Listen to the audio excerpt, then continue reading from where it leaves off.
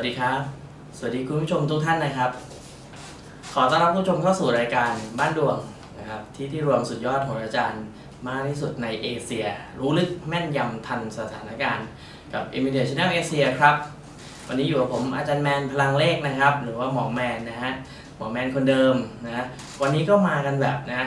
ด่วนๆกันนิดนึงนะกับราศีนะครับเขาเรียกว่าเปิดดวงโชคลาภนะฮะกับ 5 ราศี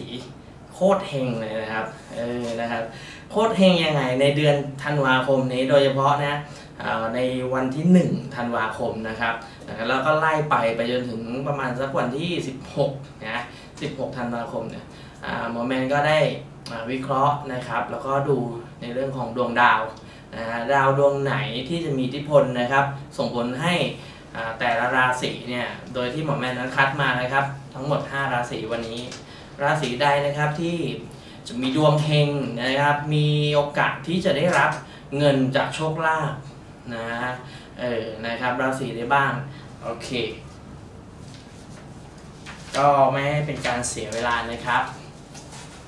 เดี๋ยวมาเข้าเนื้อหากันเลยนะ เรามากันที่ราศีแรกนะครับนะราศีแรกนะครับ ราศีที่นะมีโชคลาภ มีโอกาสที่จะได้ทรัพย์นะครับนะหรือว่ามีโอกาสดีๆ เกี่ยวกับเรื่องของการเสี่ยงโชคนะครับ ราศีแรกนะครับ ได้แก่ราศีอ่าหรือลัคนาราศีเมษครับเอาละฮะราศีเมษนะครับ ผู้ที่เกิดระหว่าง 13 เมษายนนะครับถึง 13 พฤษภาคม ราศีเมษเองเนี่ยฮะอิทธิพลของดาวมฤตยูที่ ทับลัคนาอยู่เนี่ย มันทำให้แลดูแล้วมันอะไรมันก็ยังไม่แน่ไม่นอน มันมีการเปลี่ยนแปลงอยู่เสมอนะครับนะแล้วแต่ว่าดวงของบางคนนะอาจจะเปลี่ยนแปลงไปในทางที่ดีนะครับ ในดวงบางคนอาจจะเปลี่ยนแปลงแล้วมันแย่ลงนะครับ อันนั้นก็อยู่ที่ดวงส่วนตัวนะครับ แต่โดยรวมแล้วเนี่ยมีการเปลี่ยนแปลงเข้ามาแน่นอนนะครับ แล้วก็เราโฟกัสไปในวันที่1ธันวาคมโดยเฉพาะเลยนะครับ ในวันที่1ธันวาคมเนี่ยนะในประเด็นที่จะทำให้ชาวราศีเมษเนี่ยมีโชคลาภเข้ามานะครับ เนื่องจากดาวจันทร์นะโคจรมานะครับ ทับลัคนาพอดีนะตำแหน่งดาวจันทร์ที่ทับลัคนาราศีเมษเนี่ยเขาได้เป็นมหาจักรมหาจักรนะครับ แล้วก็เรียกว่ามหาจักรเป็นดวงมาตรฐานนะของโหราศาสตร์ไทยมหาจักรคืออะไรมหาจักรคือดวงยิ่งใหญ่นะครับ ที่ไม่ใช่ธรรมดาธรรมดานะดาจันทร์กุมรักอาจจะบางคนก็อาจจะมีเรื่องอของรักรักใคร่ๆเข้ามา บางคนมีเรื่องของการงาน บางคนมีเรื่องของการเงินนะครับ แต่สำหรับราศีเมษแล้วนะดาวจันทร์นะที่เป็นมหาจักรเนี่ยว่ากุมลัคนาเนี่ยโอ้โหทับลักษ์ก็มีความยิ่งใหญ่เติบโต โดดเด่นมากกว่าชาวบ้านเขานะครับ อันนี้ราศีเมษนะครับ ในเกณฑ์ข้อที่สองเนี่ยเราก็ยังอยู่ที่ดาวจันทร์นะดาวจันทร์เนี่ยมันเป็นดาวในภพพันธุนะครับ พันธุก็หมายถึงเรื่องของถ้าเป็นสิ่งของก็เป็นบ้านที่อยู่อาศัยที่ทำงานรถยนต์นะครับพันธุยังหมายถึงครอบครัวนะเพราะฉะนั้นดาวครอบครัวดาวพันธุเนี่ยมาทับลัคนานะครับ แล้วก็เราชมเลืองดู ดาวพระราหูนะครับ ดาวพระราหูนะครับ ซึ่งเป็นดาวในภพโชคลาภของราศีเมษนะครับ ก็ยังจรเข้าไปสถิตนะอยู่หน้าเดือนพันธุก็คือสถิตณตรงนี้ได้สักระยะหนึ่งแล้วนะครับ ก็ยังมีพลังที่ดีอยู่นะก็ฝากคนราศีเมษนะครับนะท่านหากท่านอยากจะเสี่ยงโชคนะครับ อาจจะมีโชคมีลาบนะ ลองสังเกตพิจิตพิจารณาดูนะ เลขบ้าน เลขรถนะครับเลขออฟฟิศเลขคอนโดเลขโฉนดที่ดินนะครับเลขตัวถังรถยนต์เออนะครับเลขอะไรที่มันอยู่รอบๆตัวท่านนะเรื่องของบ้านของรถทุกคนนะครับ ก็มีกันอยู่แล้วนะก็ลองสังเกตดูนะครับ ก็ไม่แน่ดีไม่ดีนะครับ คนที่มีดวงด้านนี้เนี่ยอาจจะถูกรางวัลใหญ่ในช่วงในวันที่หนึ่งก็ได้นะเอาละแล้วก็ เรามาสังเกตนะครับ ดาวพฤหัสเองก็เล็งลัคนาอยู่แล้วนะครับ แล้วก็สถิตอยู่กับระอังคารเนี่ยก็ได้เป็นคู่สมพลด้วยนะครับ แล้วก็พระจันทร์เนี่ยที่กุมรักเนี่ยส่งผลให้ทำมุมเล็งกับดาวพฤหัสครับ ได้ตำแหน่งเป็นคู่ธาตุดินเออนะครับ เพราะนั้นส่งผลเรื่องของการเงินด้วยยังไม่พอยังส่งผลเรื่องของความสัมพันธ์รักๆใกล้ๆด้วยนะครับ เพราะนั้นราศีเมษ อ่าใครจะเข้ามาช่วงนี้ก็ดูให้ดี เพราะบางครั้งอาจจะไม่ค่อยยั่งยืนนะครับ อย่างคำกรบอกว่าพระฤหัสจันทร์ปั้นตัวหาผัวเมีย มิได้พักให้เสียขันหมากมั่นนะครับ มันก็มีเรื่องของรักรักใคร่ใคร่นะครับ กุ๊กกิ๊กกุ๊กกิ๊กเข้ามา แต่บางครั้งมันจะเข้ามาแบบชั่วครั้งชั่วคราว อันนี้ก็ต้องดูพินิจพิจารณาให้ดีนะครับ ดาวพฤหัสก็ยังอยู่กับ ดาวคารนะครับ ได้เป็นคู่สมพลเล็งลัคนานะหมายถึงว่าจะบังเกิดความสำเร็จเกิดขึ้น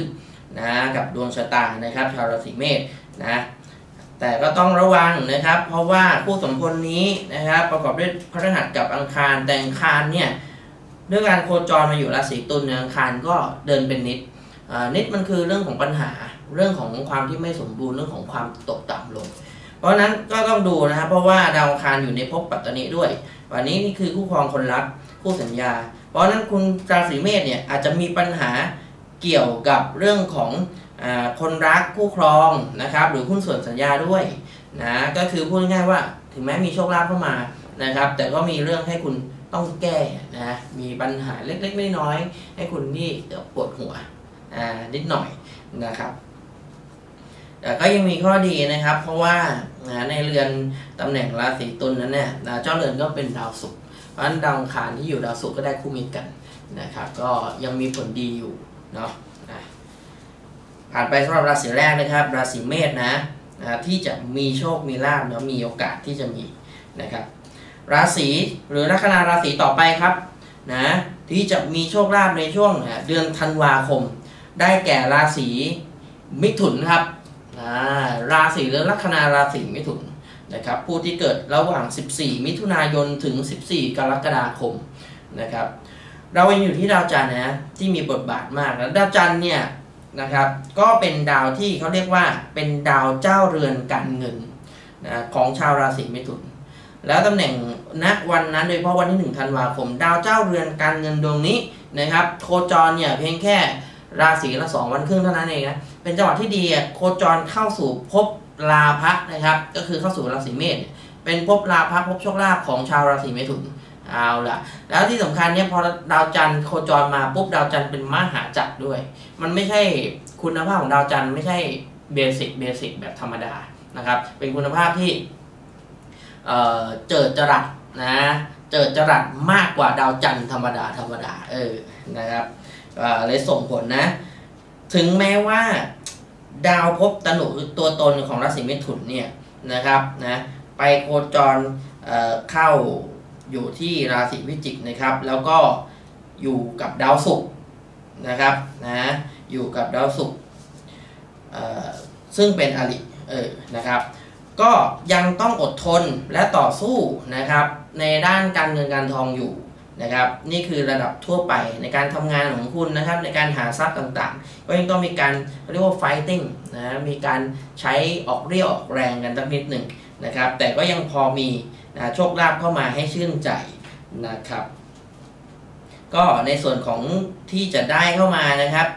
แต่ในส่วนของงานประจำที่เราต้องหากันต่อไปก็แยกส่วนกันนะครับ ช่วงนี้ก็ยังดีที่มีฟุกๆเข้ามาบ้างนะครับ ก็ฝากชาวราศีเมถุนไว้ด้วยนะครับ ในเรื่องของสุขภาพด้วยนะครับ เพราะว่าดาวเสาร์เนี่ยซึ่งเป็นภพมรณะเนี่ยก็ยกย้ายเข้ามาเล็งลัคนานะครับในวันที่ 1 ธันวาคม ก็ระมัดระวังเรื่องของการเจ็บป่วยเรื่องของสุขภาพนะครับ ต่อไปนะราศีหรือลัคนาราศีนะครับที่มีความโดดเด่นนะครับที่จะมีโชคลาภนะในช่วงเดือนธันวาคม ได้แก่ราศีหรือลัคนาราศีตุลครับราศีตุลนะผู้เกิดระหว่าง 17 ธันวาคมถึง 15 พฤศจิกายนนะครับ ราศีตุลเนี่ยดาวในภพตนุเนี่ยนะครับ ตอนนี้เนี่ยเขาเรียกว่าได้ตำแหน่งเป็นนิดอยู่ ถึงแม้จะไม่ได้ดั่งใจในหลาย ๆ เรื่องนะอันนู้นอันนี้ก็ที่คาดหวังไว้บางทีอาจจะไม่ได้เต็มร้อยเปอร์เซ็นต์นะ แต่ว่าณขณะนี้ครับ ดาวศุกร์นะฮะก็ได้โคจรเข้าตำแหน่งกดุมพระนะถึงแม้จะเป็นนิดก็คืออาจจะไม่ได้เต็มร้อยนะครับ แต่ก็ยังอยู่เรือนการเงิน และที่สำคัญนะก็ยังได้คู่นะครับ ที่เป็นคู่ธาตุสำคัญนั่นก็คือพุทธศุกร์คู่ธาตุงามเออนะครับ อยู่ในเรือนการเงิน เพราะฉะนั้นความอุดมสมบูรณ์ต่างๆ ที่มันจะเกิดขึ้นนะครับ ถ้าอยู่เรือนอื่นตำแหน่งอื่นก็ไปสมบูรณ์ในตำแหน่งอื่นในเรื่องอื่นนะครับ ในกรณีนี้ณวันที่1ธันวาคมนะพุทธศุกร์สถิตคู่กันอยู่ณเรือนการเงิน เพราะนั้นส่งผลดีเรื่องการเงินนะครับ ถึงแม้อาจจะได้ไม่เต็มไม่เต็มหน่วยนะครับ เพราะว่าดาวศุกร์เองเป็นนิดอยู่นะแต่ก็ต้องมีได้บ้างตำแหน่งดาวอาทิตย์ครับ ซึ่งเป็นดาวประจำภพโชคลาภนะภพราพะเนี่ย จอรเข้าสู่ภพการเงินนะจอรเข้าสู่กระเป๋าตังค์โชคลาภวิ่งเข้ากระเป๋าเงินอ่ามันก็ต้องมีโชคลาภกันบ้างถูกไหมครับนะแล้วที่สำคัญนะได้คู่ดาวนะครับที่เขาเรียกว่าคู่จักรพรรดิ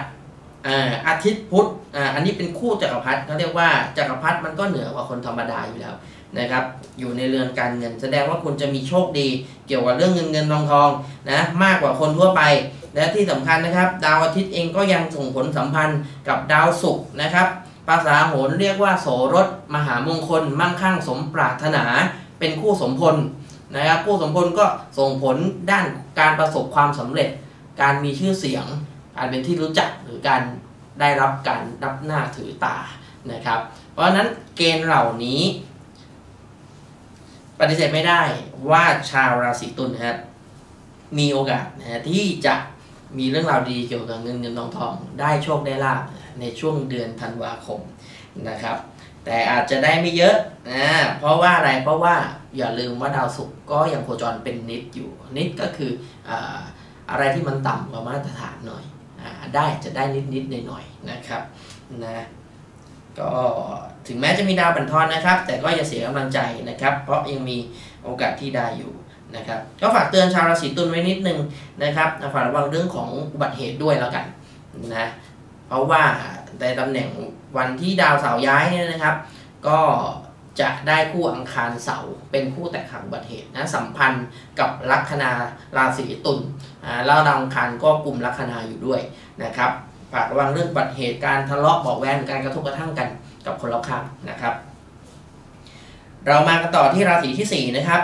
ราศีที่ 4 ที่มีโชคลาภช่วงเดือนธันวาคม ได้แก่ ราศีหรือลัคนาราศี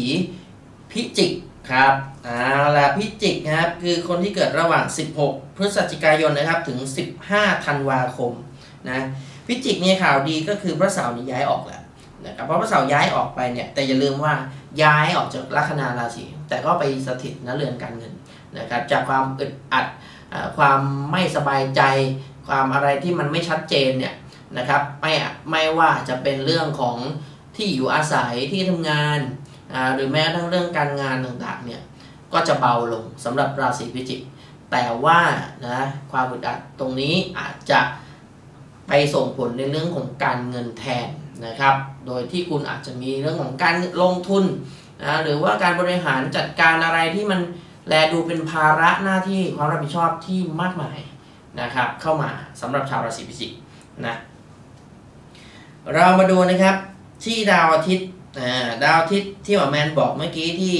นะส่งผลดีกับราศีตุลนะครับ ก็แน่นอนนะครับ เข้ามากลุ่มลัคนาราศีพิจิกแล้วเนี่ย ดาวอาทิตย์เองนะก็อยู่คู่กับดาวพุธได้คู่จักรพรรดิและก็อยู่คู่กับดาวศุกร์ได้คู่โสรสแล้วก็คู่สมพลนะครับก็ส่งผลดีกับชาวราศีพิจิกนะก็เหมือนพอยกภูเขาออกจากอกนะครับ ดาวเสาร์ย้ายออกไปแล้ว ดาวดีๆ ก็ย้ายเข้ามาแทนที่พอดีนะครับก็ถือว่าเป็นจังหวะที่ดี นะแล้วดาวพุธเองเนี่ยที่เข้ามานะครับได้ทั้งคู่ธาตุน้ำและคู่จักรพรรดิเนี่ยดาวพุธก็เป็นดาวเจ้าเรือนลาพัดนะเราเรียกว่าโชคลาภกุมรักอะ่ะเออโชคลาภทับลัคนาก็สวยงาม แสดงว่าเรามีโชคลาภแล้วเขาเรียกว่าส่งพระเสาร์อย่างสวยงามเลยนะครับ นอกจากนั้นเนี่ยดาวศุกร์เองนะครับ ก็อย่าลืมว่าดาวศุกร์ สำหรับราศีพิจิกแล้วดาวศุกร์ก็คือดาวเจ้าเรือนปัตตนินะหรือคู่ครองคนรัก หุ้นส่วนคู่สัญญา buddy partner นะครับในความหมายตามนี้ มาทับลัคนาเหมือนกันนะก็ดาวศุกร์คือเงินเงินสดด้วย เพราะฉะนั้นคุณมีโอกาสได้รับเงินสดทั้งจากคู่สัญญาหุ้นส่วน partner ทางธุรกิจนะครับแต่ก็ต้องบอกไว้ก่อนว่า อาจจะไม่ได้ตามเป้า 100%ที่คุณต้องการนะครับ เพราะว่าด้วยคุณภาพของดาวมันก็ยังเป็นนิดอยู่นะครับ ก็ยังต่ำกว่ามาตรฐานอยู่นะครับ ก็ได้นิดหน่อยนะ ได้นิดหน่อยนะครับ แต่ก็ไม่เป็นไรก็จึงถือว่าได้อิทธิพลของทั้งดาวราพะกุมรักนะครับ คู่ธาตุน้ำทับลัคนาอยู่ แล้วก็คู่โสรถด้วยนะครับ รวมไปถึงเลขคู่จักรพรรดิด้วยนะก็หลักเกณฑ์ เหล่านี้นะครับรวมถึงการย้ายออกของพระเสาร์ด้วยอส่งผลให้ชาวราศีพิจิกเนี่ยเป็นราศีที่โดดเด่นขึ้นมา มีโอกาสที่จะมีโชคมีลาภนะมีโอกาสดีเรื่องของเงินเงินทองทองนะครับ เราผ่านมาสี่ราศีนะครับเอาละต่อไปราศีสุดท้าย ราศีสุดท้ายราศีที่ 5 นะครับ ซึ่งหมอแมนเปิดดวงโชคลาภมาแล้วนะครับ มีโอกาสที่จะร่ำรวย มีโชคลาภในเดือนธันวาคม ได้แก่ราศีหรือลัคนาราศีมังกรครับเอาละนะฮะชาวมังกรเนี่ยผู้ที่เกิดระหว่าง 16 มกราคมถึง 12 กุมภาพันธ์นะครับ ชาวราศีหรือลัคนาราศีมังกรเนี่ยง่ายๆเลยนะครับพอเรานับดาวนะครับที่มีบทบาทเหลือเกินนะในช่วงเดือนธันวาคมนี้ นั่นก็คือดาวอาทิตย์ดาวพุธและดาวศุกร์นะครับ ดาวทั้ง 3 ดวงเนี่ย คจรเข้าสู่ตำแหน่งภพลาภะหรือโชคลาภเนี่ยของชาวราศีมังกรนะครับ ถึงแม้ว่าดาวศุกร์เองจะเป็นนิดก็คือต่ำกว่ามาตรฐานนะแล้วเราก็ยังอยู่ที่พระราหูนะครับ ซึ่งโคจรมาสถิตเล็งลัคนาราศีมังกรอยู่ โดยที่ชาวราศีมังกรดาวประจำตัวก็คือดาวเสาร์อยู่แล้วนะดาวเสาร์กับพระราหูเนี่ยเป็นคู่มิตรใหญ่ในทางโหราศาสตร์ นะครับถือว่าเป็นคู่มิตรกัน แล้วเป็นคู่มิตรที่ให้ผลดีในเรื่องของการเสี่ยงโชคนะเรื่องของออะไรที่มันเป็นสีเทาๆนะครับ ธุรกิจที่มีสีเทาๆหรือการเสี่ยงโชคเรื่องของงานกลางคืนนะครับ อะไรที่มันไม่ค่อยเหมือนชาวบ้านเขานะก็มีผลดีตรงนี้นะครับ แต่เนี้ยก็จากการสังเกตเนี่ย ดาวเสาร์พอยกย้ายเข้าราศีธนูปุ๊บเนี่ย มันอยู่ในภพวินาศนะ พวินาศหรือว่าวินาศวินาศนะเนี่ยนะครับของชาวราศีมังกร เพราะฉะนั้นชาวราศีมังกรมีโอกาสได้โชคลาภลาภผลจริง อาจจะเกิดจากการเปลี่ยนแปลงโยกย้ายที่อยู่อาศัยที่ทำงานนะครับหรือต้องมีการเปลี่ยนแปลงใหญ่ ๆ อย่างมีนัยยะนะเปลี่ยนแปลงใหญ่ ๆ ในชีวิตนะครับ แล้วก็ต้องคอยพิจารณาดูนะครับว่าจากการเปลี่ยนแปลงนั้นคุณอาจจะได้ลาบผลที่ดี จากการเปลี่ยนแปลงนั้นก็เป็นไปได้ นะครับหรือใครที่เปลี่ยนรถใหม่ย้ายบ้านใหม่ลองดูนะครับว่ามีเลขอะไรที่น่าสนใจหรือไม่เออนะครับลองพิจารณาดูนะครับ ก็อย่างไรก็ตามนะครับ ก็ต้องบอกว่าถึงจะมีโชคลาภแต่ก็ยังต่ำกว่ามาตรฐานอยู่นิดนึง เนื่องจากคุณภาพของดาวศุกร์นั้นไม่ค่อยดีนะครับ ก็ได้นิดหน่อย หรือไม่ก็ได้มาแล้วก็มีรายจ่ายที่รอคุณอยู่นะครับนะ ก็ไม่เป็นไรนะครับ ก็ยังดีกว่าไม่ได้ซะเลยนะก็ถือเป็นจังหวะดีๆ เป็นโชคดีของทั้ง 5 ราศีนะครับเอาละครับวันนี้ครบถ้วนทั้ง 5 ราศีนะครับ ก็ต้องขอขอบคุณทุกท่านนะครับที่ติดตามนะครับรายการบ้านดวงของเอพิเดียมาโดยตลอด นะครับช่วงนี้ก็ใกล้จะปีใหม่แล้วนะครับ อย่าลืมนะกด Subscribe กดไลค์กดแชร์นะเพื่อเป็นกำลังใจให้พวกเราทีมงาน e v i d e n c e Channel Asia ได้ผลิตคลิปดีๆนี้ต่อไปด้วย แล้วพวกกับหมอแมนได้ใหม่ในคลิปต่อไปนะครับสำหรับวันนี้ลาไปก่อนครับ สวัสดีครับยังคงคาใจ แม้เราเจอกันไม่นาน แต่มันเหมือนมีความผูกพันลึกซึ้งข้างในอย่างที่ไม่เจอ ข้างในมันเหมือนขาดหาย แต่พอพบเจอกลับอุ่นใจ เพราะเหตุใด